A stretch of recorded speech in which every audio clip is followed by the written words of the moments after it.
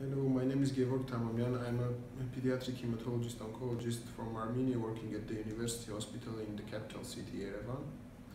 I'd like to talk about the pediatric MDS and the new initiative by the MDS Foundation to form a pediatric MDS group. In our part of the world when, where the resources are quite limited and we don't see that many patients because of the small population, uh, the efforts to make some collaborative groups will be very helpful.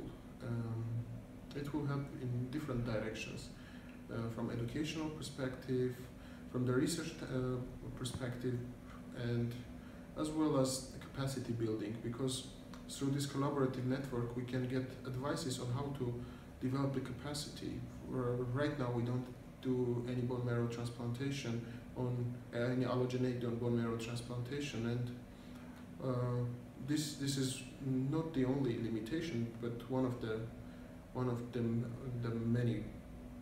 So I think it's it has much value to to have this collaborative pediatric MDS group uh, through the MDS Foundation, and personally I uh, support it, and I, I think it will have a great success.